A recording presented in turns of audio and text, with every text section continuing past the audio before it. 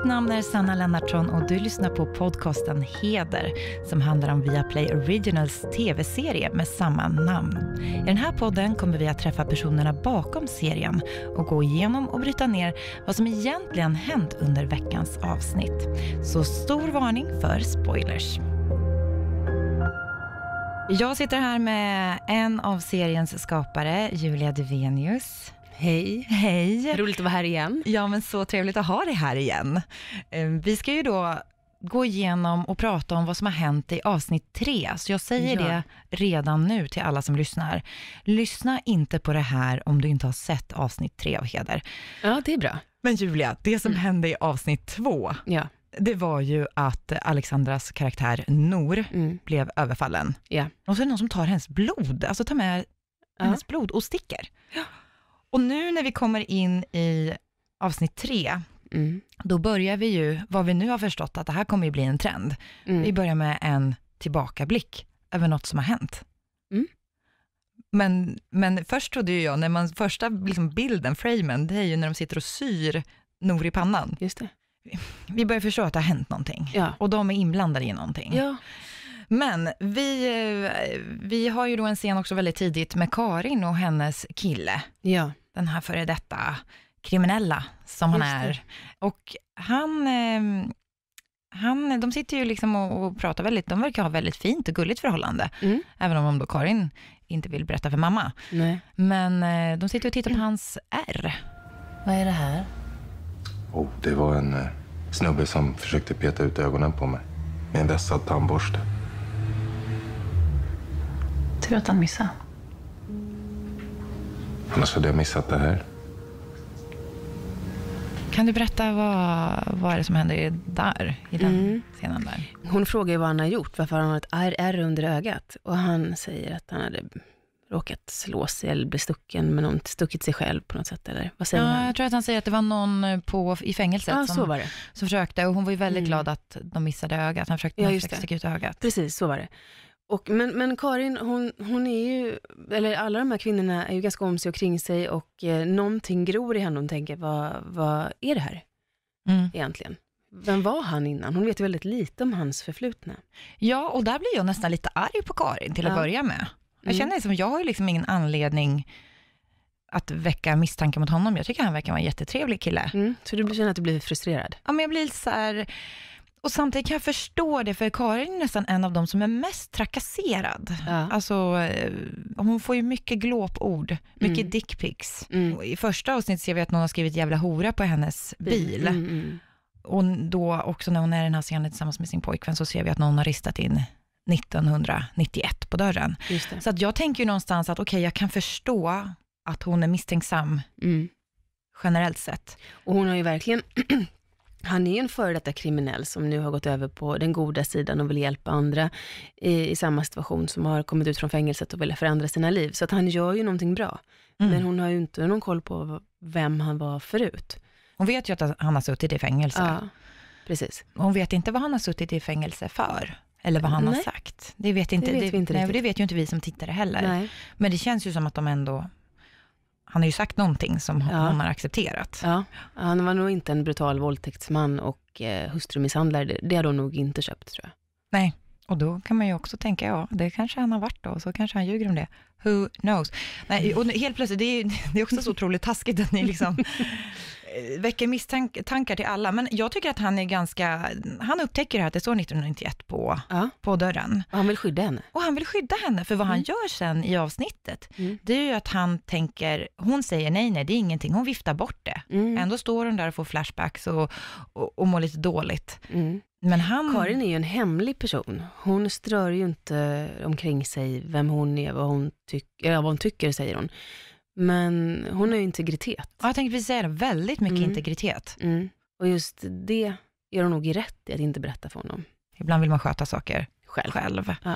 Så Karins påjkvän Robert, Mm. han byter ju faktiskt ut den här dörren och sätter in en säkerhetsdörr utan att Karin vet om det. Och Ja. då blir hon väldigt, det är nästan då hon blir lite misstänksam mot honom va? Hon Ja, blir hon, lite tycker, upprörd i alla hon, fall. hon tycker att han lägger sig i hennes liv och blir överbeskyddande. Det är upp till henne vad hon vill göra med sitt liv. Han går över en gräns. Hon sa, nej, du får inte hjälpa mig med det här. Och så gör han det ändå. Och hon träffar ju den här kof kofots-Harry, eller vad, de kallar honom, på vägen ut. Och som är uppenbart en ex-kriminell. Så hon tycker Mm. väl liksom, nej, nej men det här blev för nära. Och där kommer ju lite hennes överklassfördomar eh, Ja. och fasoner in. Ja, och det är också roligt. Det är också roligt ja, för det är Ja. så här också, ska jag hålla med Karin? Det Ja. finns en poäng.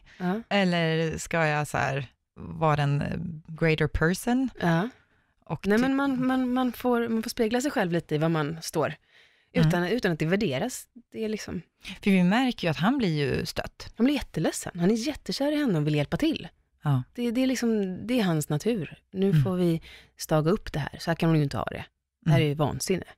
Och hade det här varit en riktig relation eh, hos någon person man känner i, i livet, Mm. då hade jag ju tyckt att han bara var gullig. Ja. Nu söker jag ju efter trådar Mm. Och blir ju också lite, ändå lite creepy att han har installerat kameror. De har ju inte känt varandra så länge. De är fortfarande så här förälskelsefas.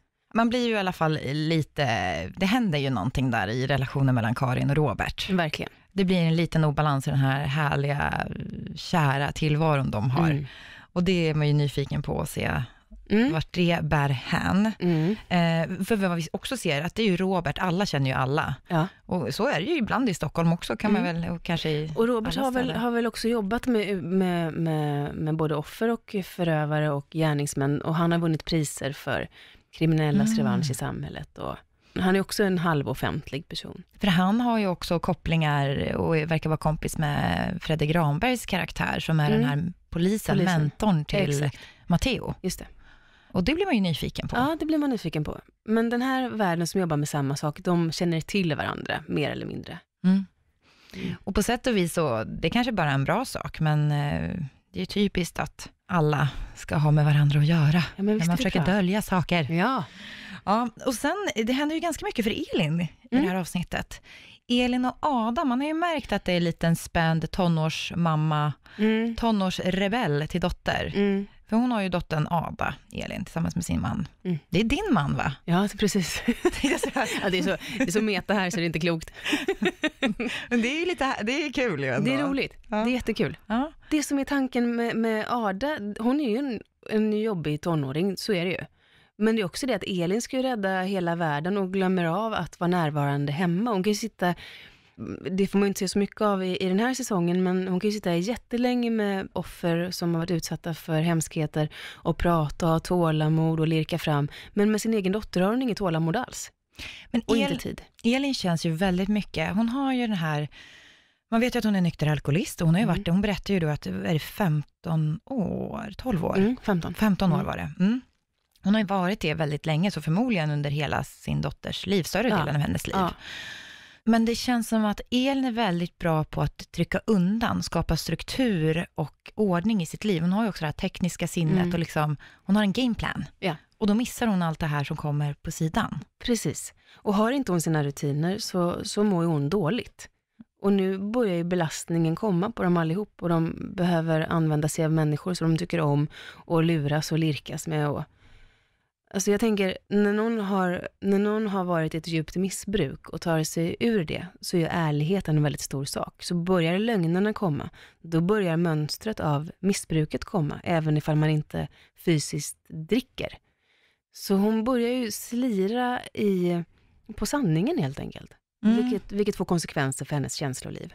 För känner hon liksom, hon verkar ju ändå eh, mot sin familj sett. Mm. Och fortfarande tycker jag ändå i avsnitt tre att hon är ju Mm. väldigt skärpt och Mm. så här, vi fixar det här. Mm. Vi gör så här, vi gör på mitt, eller liksom, jag, Mm. jag ordnar det här. Oroa dig inte. Hon tar ju en väldigt mammaroll bland sina vänner. Verkligen. Men ehm, man ser ju nu när Ada, det är ju en scen där de sitter i bilen. Och Ada blir liksom sur. Mm. Vad gör Orkar med alla jävla frågor. Ja, för att jag bryr mig. Ta hand om dig själv istället. Va? Jag har varit nykter i över 15 år. Dra inte det kortet. Allt ska vara så jävla perfekt hela tiden. Va? Och jag ska vara ett perfekta lilla barn. Vad pratar du om? Vadå perfekt? Ni vet inte ens hur världen ser ut. Ni bara lever i någon jävla bubbla. Jag vet jävligt väl hur världen där ute ser ut. Jag arbetar med våldtagna kvinnor varje dag och min lön har till exempel betalat den här jackan. Tänk på det nästa gång du står på den. Eh, och sen drar hon. Mm. Varför den här scenen, vad, vad speglar den? Den speglar flera saker. Det ena är att eh, Elin borde ju bara tagit det lugnt där och frågat och suttit tyst och väntat in Ada. Hennes föräldraskap börjar svaja i det ena. Ada är skitjobbig i det andra. Och vem, vem drar Ada till? Vem, vem är den vuxna som hon har förtroende för? Det är ju Nor. Det är ju Nor. Ada, du vet att du får komma när du vill. Men om du rymmer ifrån mamma igen så kommer jag skicka dig på klosterskola i Schweiz. Va? Jag och mamma har pratat om det. Då får du irra runt där i Alperna bland en massa nunnor och jätter. Kul. Lite. Och det är väldigt fint på något sätt. Jag kan tycka att det är väldigt fint, för vi har börjat se en sorg i Nor, att hon kanske inte, hon kanske inte är helt tillfreds med sin tillvaro. Att hon Nej. känner sig lite ensam ibland och lite själv. Ja, hon är väldigt ensam, upplever jag också. Och, och, och låser alla lås och, har, och vill sova i soffan. Liksom. Mm. Så det är fint att Ada drar dit och att de Mm. har en fin relation. Man ser nästan också Nor blommar upp i det. Mm. Hon blir väldigt varm, tycker Mm. jag, i deras möte. Ja, och det, och det säger också någonting om hela, hela gruppen, tänker jag. Att eh, mina barn, eh, ha, eller min vi känner varandras familjer väldigt, väldigt väl. Och vi har tagit ansvar för varandra under Mm. dessa år vi har jobbat ihop. Men hur känner Elin? Inför att hon åker till Nor. Ja. Jätteskönt tror jag, för att hon har inte riktigt tid med, med sin familj just nu. För Hon håller ju på att ordna upp allting, måste knäcka vissa saker, komma in i vissa system, letar efter gåtans lösning i cyberrymden, eh, sitter och tittar på fotografier länge, länge, är uppe på nätterna och jobbar. Ja, för hon blir ju lite störd på sin man också, som säger Mm. kolla hennes telefon, och det är ju också lite, kanske Ja. går lite över gränsen. Verkligen. Men att Elin tycker det, hon vill kanske inte jättegärna.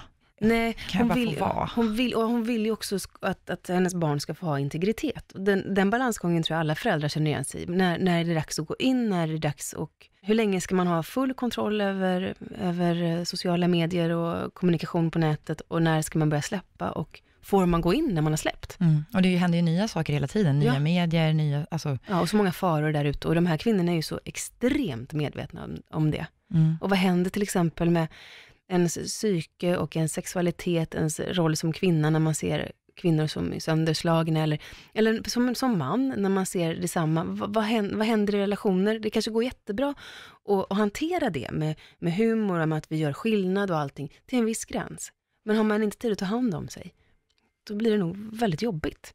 Ja, men och för Elin och Adam, man ser där, Elin, Mm. hon känns ju inte som att hon är, blir den här mamman som blir jätterädd, för att hon, alltså, hon har sett allt det här hemska, de här Mm. sexbrotten och kvinnorna som utsätts. Eh, hon är inte rädd för det för sin dotters skull. Nej. Så upplever jag det. Nej, inte alls. Nej. Utan där tänker hon, men det, hon, hon är uppfostrad. Alltså hon, de gör det här klassiska misstaget som, som Janni också säger i en tidigare episod. Se, jag var inte den typen. Och alla bara, men hör du vad du säger? Och var Mm. inte den typen som våldtar. Han kanske visst har gjort det. Mm. Likadant gör ju Elin med sin dotter, men hon har ju fått så mycket vett av oss. Hon skulle aldrig göra något dumt. Att man, fast man vet att det kan vara vem som helst, går i samma fälla igen och igen och igen. Och Elin hjälper ju också då, vi ser ju verkligen hennes, eh, hon går in och styr upp och är då nästan som mamma åt Janni. De verkar ju ha Mm. väldigt, eh, nu, jag tycker att alla fyra har ju en väldigt tajt Mm. relation, men det känns ändå som att Elin och Janni, är- så här i början av serien, Mm. Eh, kommer varandra väldigt nära. Även om vi ser då Nor och relationen med Ada, Adas där, så att de har ju hållit ihop. Men, men Elin, även om då Janni är en väldigt doer Mm. och får saker och ting gjorda, klättrar över läskiga stängsel och bryter sig in i bordeller och sådär, Mm. Mm. så Elin hjälper ju till att vara ankaret hos henne. Mm. Och nu har ju då Matteo är där och swipar dem för DNA. Mm. Och han är ju lite sur på Janni.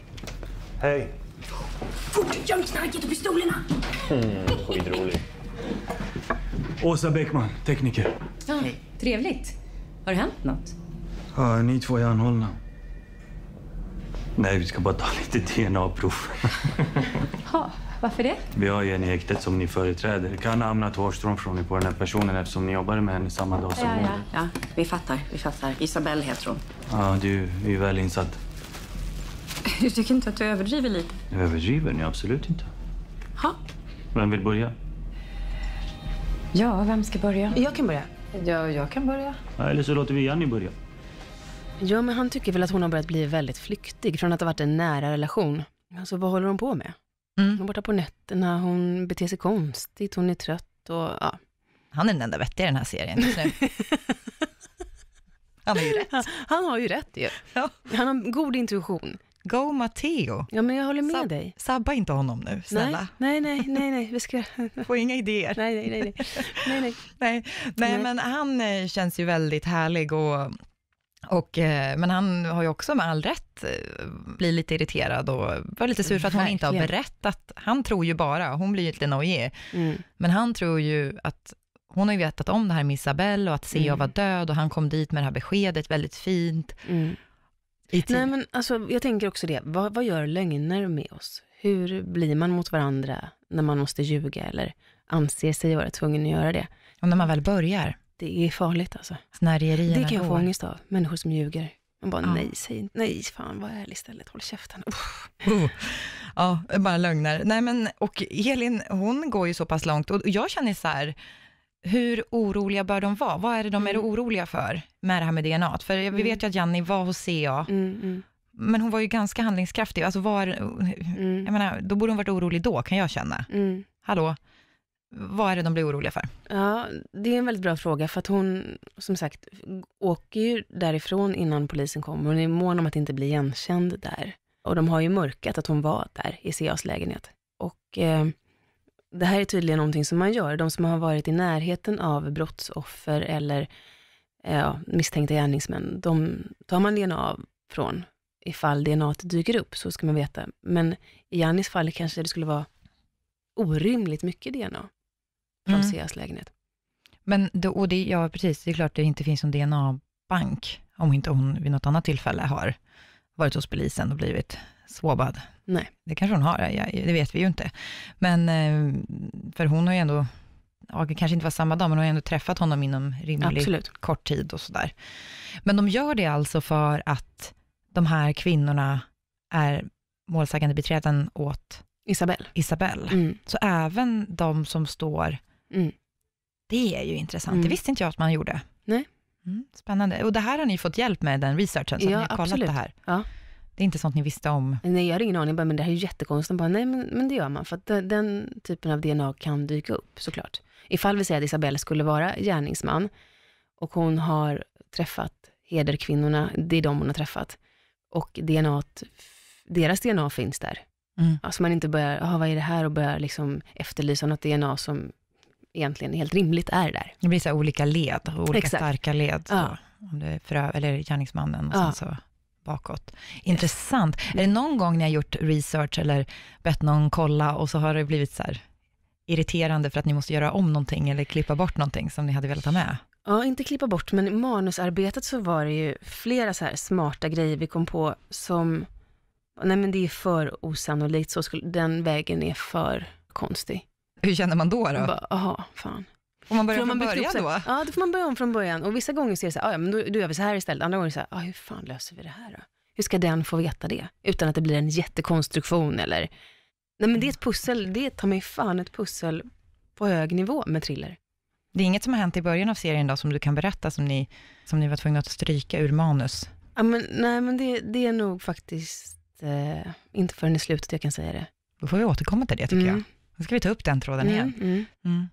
Men i trean här så ser vi ju verkligen, här stärks ju lojaliteten Mm. mellan vännerna. Man ser ju att det är liksom girls first. Mm. Alltså Ja. verkligen. Mm. Och jag tänker ju, för jag, som sagt, vi pratade, vi pratade tidigare om den här Sex and the City-influenserna Mm, mm. nästan, Mm, på ett väldigt modernt och fräscht sätt. Ja, roligt. Ehm, och jag tänker ju så här att man, man börjar ju nästan, vi, vi sitter ju nästan och pratar om vem man är av de här Ja. fyra. vem är du? Ehm, Jag förstår att de kanske inte har gjort allt perfekt och allt bra, så du behöver inte äga hela, men karaktärsmässigt, vem, skulle, vem är du mest lik? Alltså om man, om man tar bort deras bakgrund, Mm. så skulle jag nog varit medlaren tror jag. Jag skulle nog varit mest Karin. Ja, Mm. med lite integritet och Ja. ändå så här, Ja, då vet jag det, då kan jag lägga den där och då får vi gå med på det. Alltså förhandlingen. ja, Hon, hon förhandlar ju mycket Karin. Ja. Med mamman och med, hon är också väldigt sympatisk. Ja men jag vet. Det, det är faktiskt, jag. ja, det, hon är Carrie. Är exakt. Carrie. Exakt. Nu vet du det Mm. Eva, du fick den bästa. Ja, du fick den bästa. Ja. Ja. Alla vill vara dig. Ja. Alla vill vara Karin. Nej men... eh, För Janni är en sån doer och jag, jag är ju själv en freeze-person ifall det händer någonting. mm, Så Janni är jag inte. Jag är inte så cool och så modig som hon är. Och eh, Noosh, eh, hon, hon njuter ju av att stå i, i rampljuset på ett sätt och använder sig av det. Mm.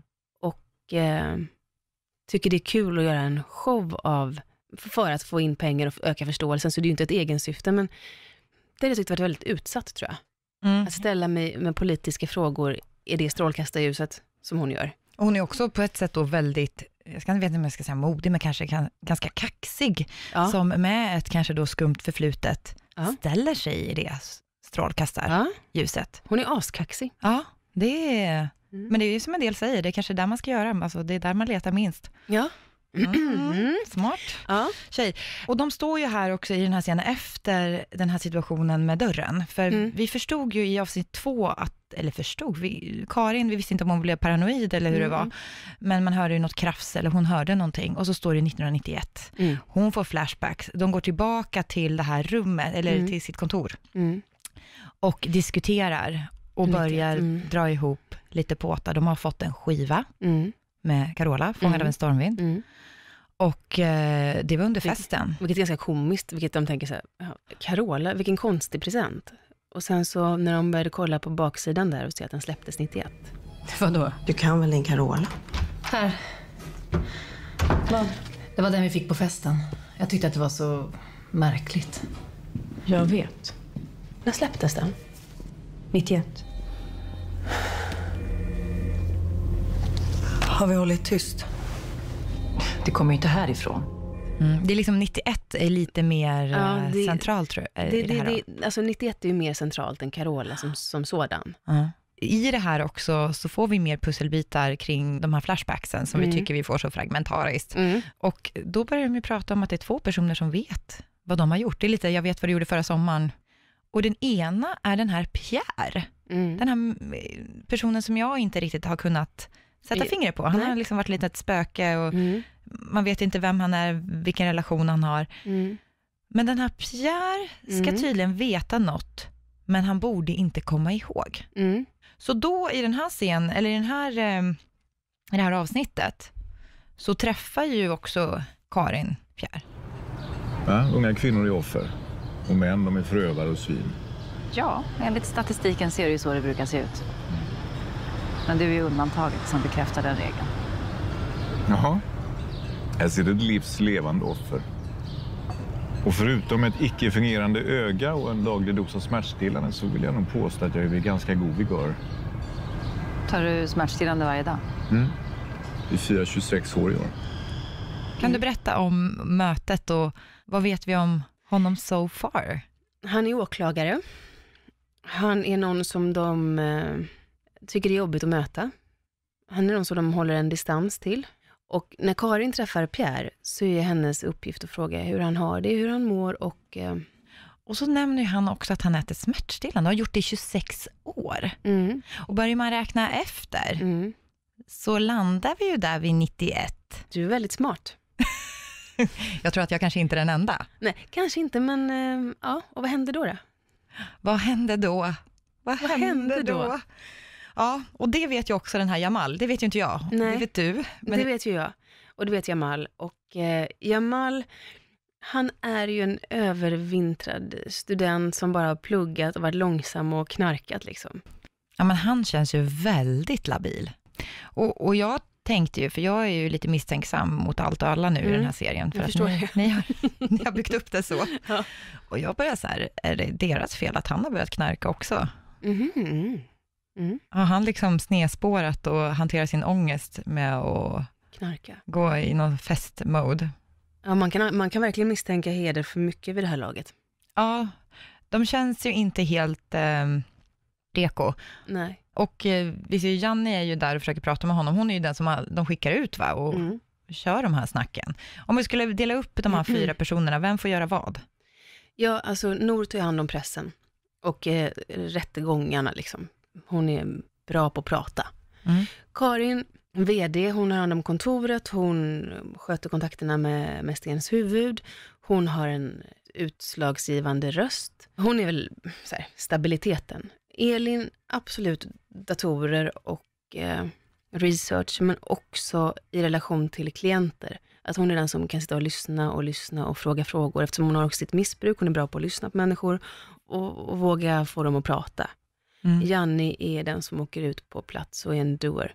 Och vår tes var att eftersom hon är född i en, uppvuxen i en polisfamilj, är gift med en polis, så har hon ganska gott självförtroende med att hon klarar av saker. Hon har fått lära sig självförsvar. Hon, Hon vet att det går att fixa. ja, De har ju ett panic room. ja.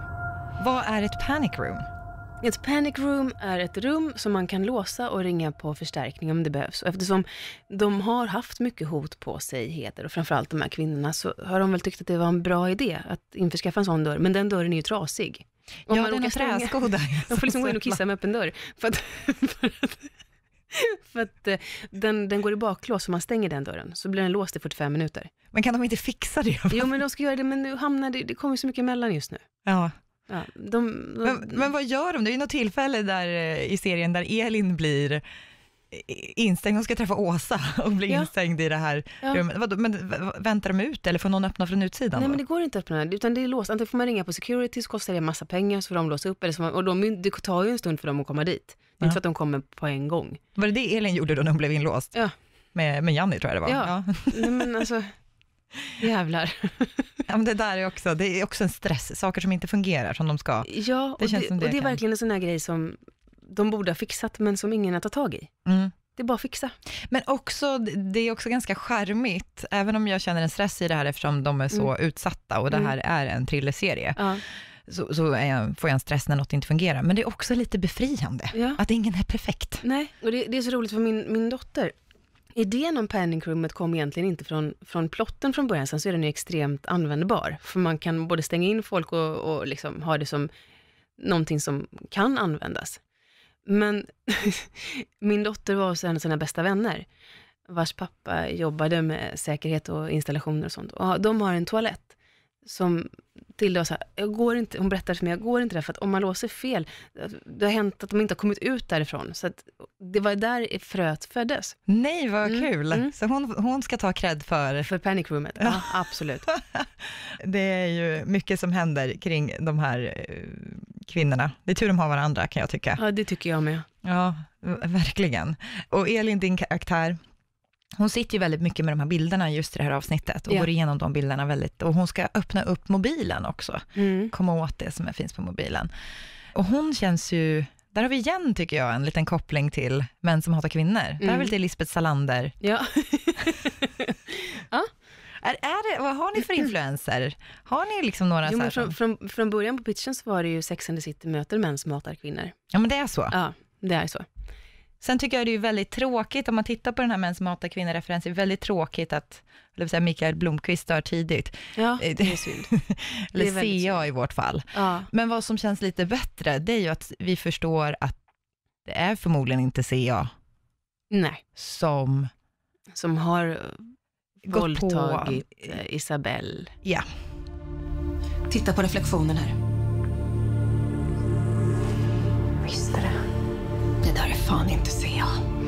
Nu kanske vi kan få Isabelle att prata. Jag bokar ett möte. Jag älskar min magkänsla. Janni blir väldigt glad. Hon blir ju grymt glad. Hon älskar sin magkänsla. Och Isabelle har ju varit så säker på sin sak. Mm. Men hon är ju förstörd, alltså hon eh, mår Nej, men nu inte mår bra. hon inte bra och vill inte prata.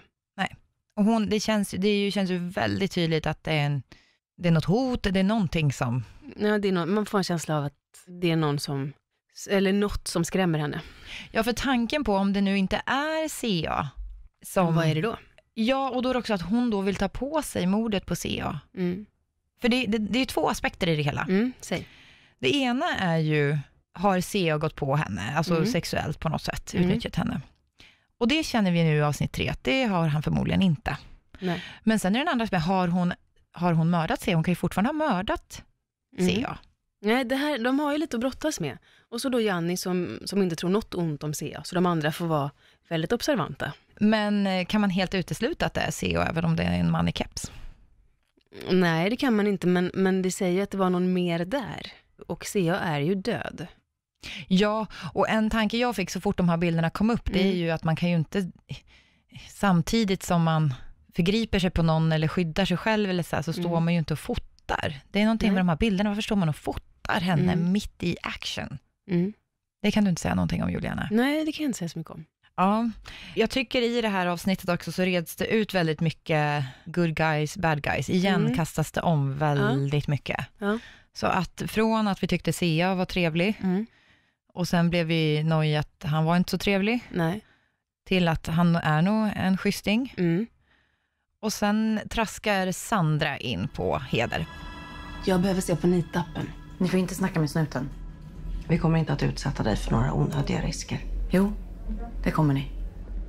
Varför kom du hit då? Sandra kommer till Heder och eh, de ser ju sin chans eh, till att få lite hjälp. De behöver ha tag i en app. Sandra är väl inte jättesugen på att dela med sig av sitt liv som prostituerad och känner sig lite rädd för att göra det. Men efter en viss diskussion så går hon med på att de ska få se hennes telefon och hon visar dem en app som hon säljer sex genom. Mot kravet att hon får bo hos någon av dem. Och det blir då Nor som drar den lotten. Kan hon inte bo hos dig, Nor? Du har ju plats. Du bor ju själv. Kan hon inte bo hos dig? Nor? Självklart kan du bo hos mig. Ja, hon är, ju inte alls sugen på det. Ja, Hon är verkligen inte sugen på det. Nor är ingen som man, som man bor hos liksom, som okänd person. Men varför säger Karin så då? För att hon känner väl att eh, ställa upp, vi måste bara lösa det här. Det är lite snabba puckar, kom igen. Mm.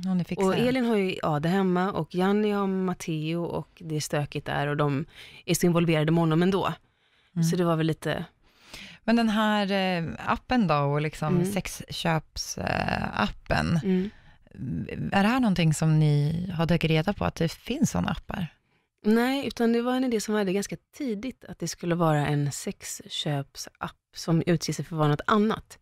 Och som sen då, ja det kommer ju det lite senare då i serien. Den, de utvecklar tanken om den.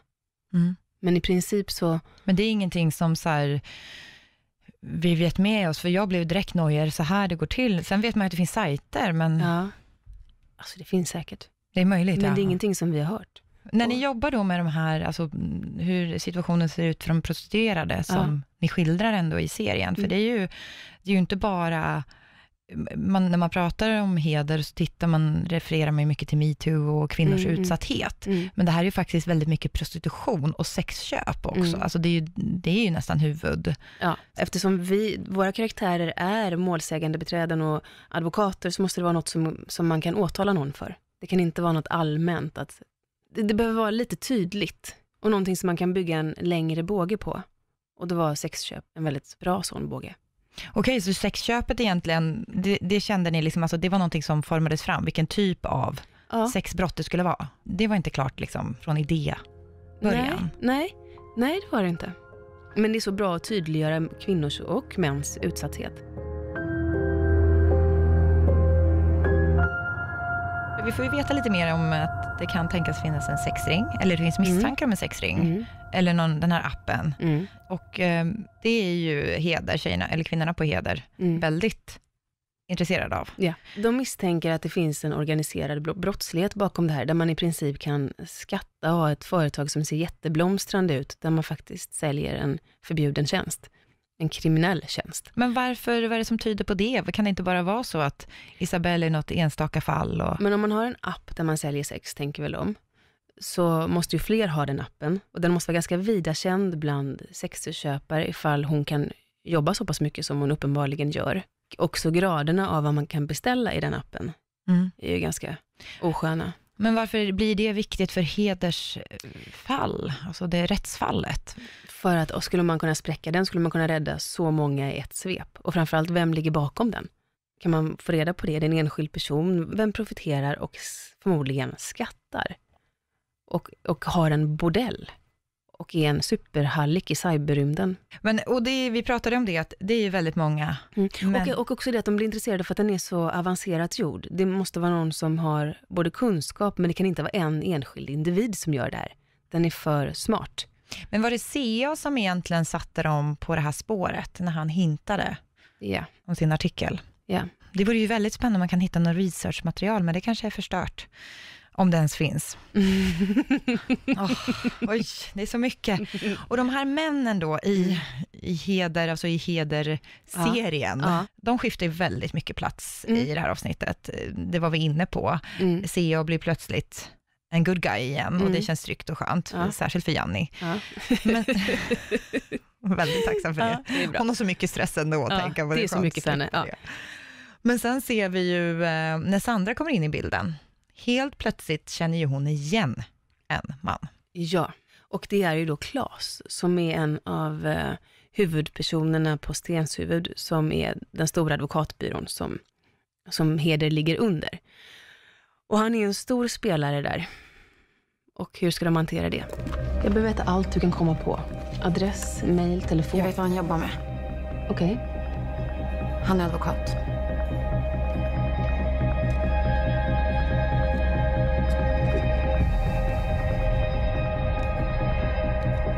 Pojkar. Unga pojkar. Men hon säger att han gillar pojkar. Mm.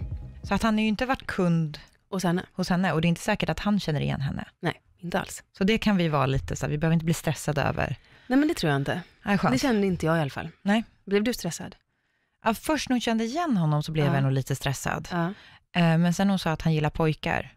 Men sen är det också, har man, ja, att hon har ju bra Mm. koll då, men det är kanske Mm. så i en Ja, jag tror att det finns liksom tillställningar där man, som ett litet eh, härligt företagsevent, man kan pröva på lite av varje. Mm. Men här hade vi faktiskt en scen som inte finns med, som fanns på manusstadiet. Mm. Berätta. Vi hade en scen som var just ett, ett event för de mest prominenta kunderna på den här sexköpsappen.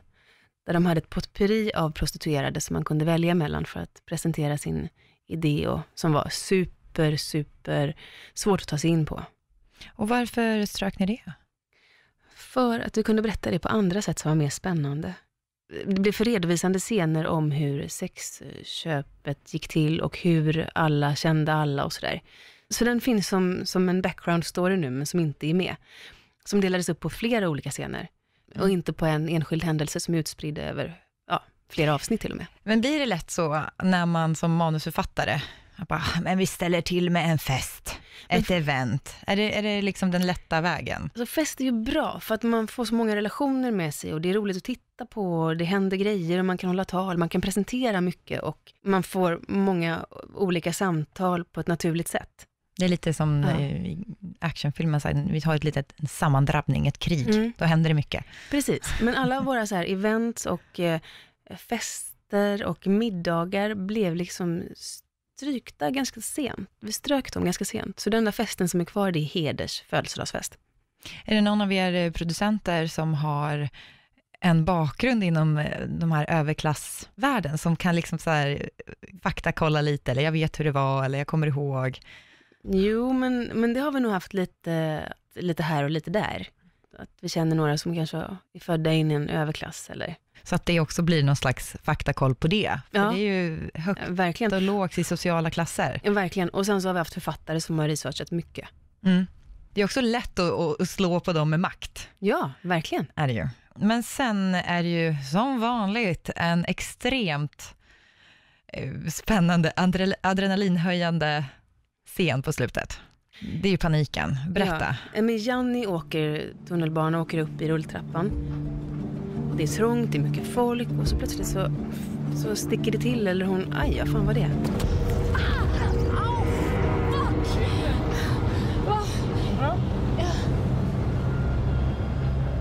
Och så ser man en eh, man i eh, huva springa iväg.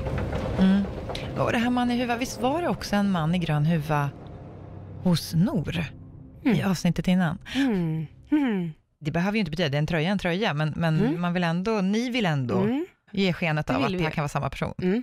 Jag är ju så här så att jag hade förmodligen inte sett det, för jag är en sån till thriller-tittare som inte försöker lösa gåtan, utan bara, ja nu händer det och nu händer det, jag, jag lever med liksom känslolivet.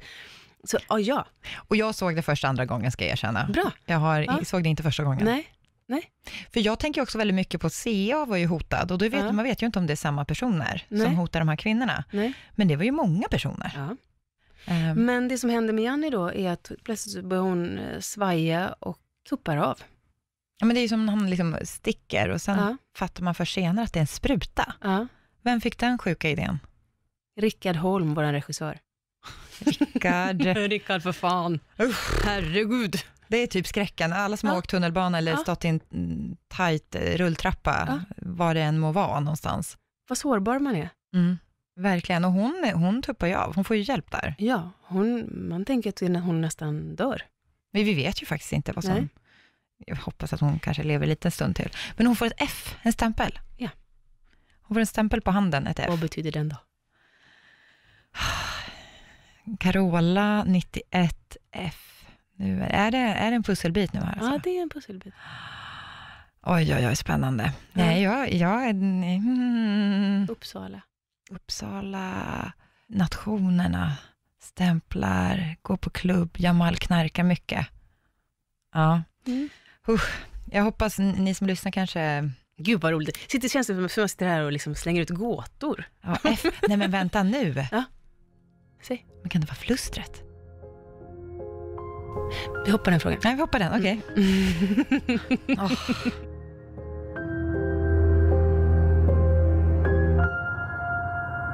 Jag träffade Eva Röse som spelar Karin i Heder och frågade henne vad hon har tyckt varit roligast under inspelningen.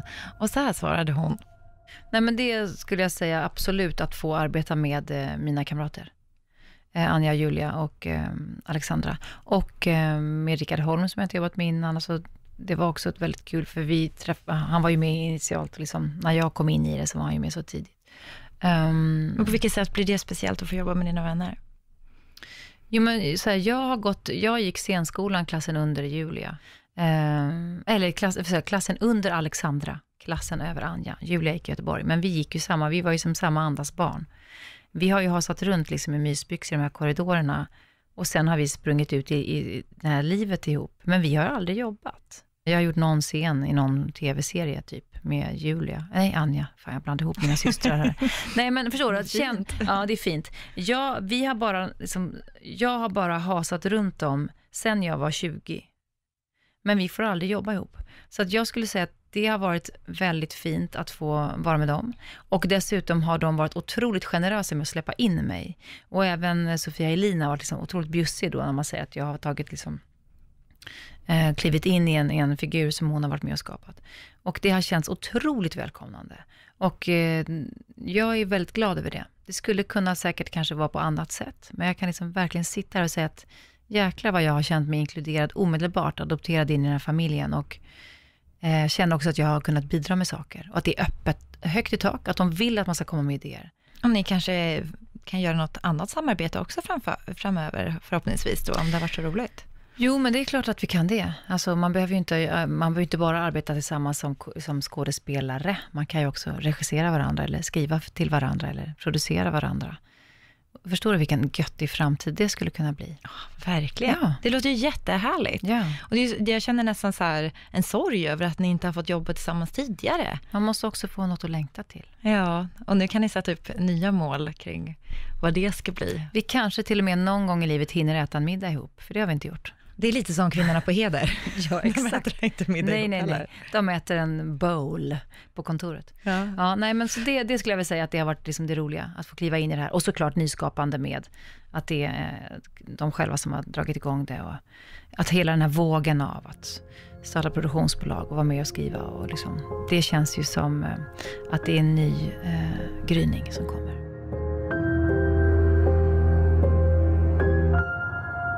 Jag undrar också över det här eh, dickpics-väggen. Ja, vi har, pratat om, om. vi har pratat om escape roomet. Ja. Nu låt oss gå till dickpics-väggen. Ja, de får ju extremt mycket dickpics. Mm. Så.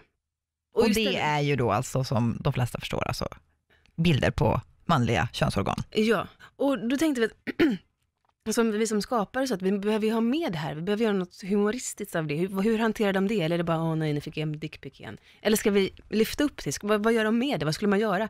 Så de har helt enkelt gjort en anslagstavla där de, där de klistrar upp eller häftar upp eh, nya dickpics som de döper. Här är rabarbersvajen, ja, ja, en till från Bananian, fan vad roligt. Alltså de, de, de vänder på det, hänger ut snubbarna, för vem fan vill ha sitt könsorgan uppspikat på en toalett liksom? Ja, igen får vi den här lite råa, att de nästan Ja. har rå humor och också försöker hantera det här, Ja. som kan, en, kan ju ändå vara lite hotfullt. Det är ju vidrigt. Ja. Om det är oombett liksom. Verkligen. Och det Ja. här är ju också en, eller liksom varför vill ni ha med det? Är det liksom en verklighet jag, som... för jag tänker att det är, en, det är ett maktmedel som vissa, många män verkar, eller vissa, många, har ingen aning, men som man märker att många kvinnor blir drabbade av. Och bara visa det absurda på det. Vända på det. Hänga ut dem istället. Ja, för de, gör ju, de berättar ju också hur de skickar till deras fruar eller familjer. Och Mm. De hanterar sina trakasserier med humor Ja, i mångt och mycket. Och är det, liksom en, det är, ett, är det ett försvar eller är det... jag tror att det är ett försvar. Avdramatisera det och visa på hur jävla dumt det är. Lägga det där det gör hemma på något sätt. Vad kan du berätta om Åsa då? Åsa eh, kom Mm. ju, har ju kommit in i bilden Mm. lite mer, mer än bara som en eh, AA-medlem och vad Ja. säger man, spons, spons, Sponsi. sponsi Mm. eh, till Elin. Mm. Ja, Åsa, hon, hon är ju skör och blir, börjar bli lite använd av Heder. Mm. På ett inte så himla trevligt sätt heller. Nej, Elin hon tummar ju verkligen på sina... På allt. Hon, hon går över alla gränser, tror jag egentligen är det som är viktigast för henne. Att försöka ge tillbaka och vara en schysst person och hjälpa andra. Nu drar ju hon tillbaks det schyssta och använder de som hon egentligen ska hjälpa. Och Åsa är ju snäll, hon är ju lite förvirrad i sin nykterhet. Hon är, att, att leva ett liv utan droger och alkohol när man har kunnat luta sig mot det och eh, upptäcka världen på nytt, då är man ju skör. För vem är Åsa? Liksom, vad är hennes bakgrund? Hon har ju varit ganska kort. Mm. Hon firade ju ett år som nykter alkoholist då. Hon har haft jätteröriga relationer, hon har druckit urmycket. Alltså druckit sig redlös och eh, kvaddat sitt eh, liv lite på det. Men fått en chans att komma tillbaka till jobbet och hennes arbetsgivare vet om hennes resa och tror på henne. För hon jobbar ju inom polisen. Ja. Och det, var inga, det är inga konstigheter, det är när jag pratar med poliser också. Alltså, ja, men, Mm, nej men, och hon har ju inte hand om egentligen, hon, hon jobbar ju inte på de där sek- mest sekretessiga avdelningen, utan hon, hon är ju en... ja. Tekniker mer. Ja. Mm. Hon mörkar ju också lite grann med att hon faktiskt känner Elin. Hon hade ju kunnat säga när hon kliver in Ja. där och de ska ta DNA att, Mm. men hej, Precis. Men de har väl börjat liksom ha hemligheter som gör att det blir svårt att avslöja att eh, de hör ihop. Mm. Ja, jag tycker i alla fall att det ska bli sjukt spännande att se nästa avsnitt, som kommer om en vecka. Oh, Roligt. Eller, det beror på när, när man lyssnar på det här, men, men vi vill ju veta det här med hur det går för Janni Det vill vi veta. och vad den här stämpeln faktiskt Betyder. innebär, om det har någon koppling Mm. till mina misstankar. Ja, men eh, Julia, tack så hemskt mycket för att du var Tack med. så hemskt mycket. Roligt. Ja, och vi får chansen att återkomma Ja. framåt serien.